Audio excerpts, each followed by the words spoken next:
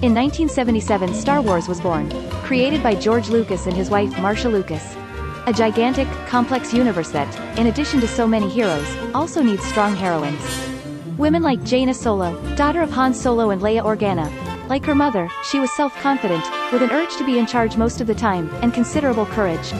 As well as her father's impulsiveness, and was trained by her uncle in the New Jedi Order.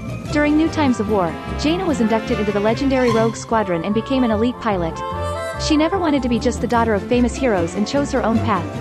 Which later brought her her own squadron, the military rank of colonel and later a Jedi Master and training from Boba Fett. Her strength and importance in the Force earned her the title Sword of the Jedi from her uncle Luke Skywalker.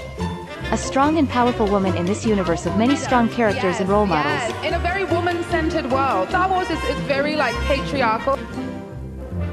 But pity Star Wars is patriarchy.